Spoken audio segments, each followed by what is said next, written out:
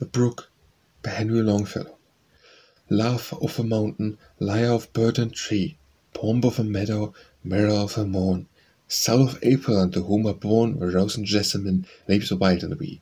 Although where the vicious current strays, The lap of earth with gold and silver teems, To me their clear proceeding brighter seems Than golden sands that charm each shepherd's gaze. Oh, without guile their bosom, all transparent as the pure crystal, Lets their curious eye thy secrets scan, Thy smooth round pebbles count; How without malice murmuring glides their current, O sweet simplicity of days gone by, Or shuns the haunts of man to dwell in but found.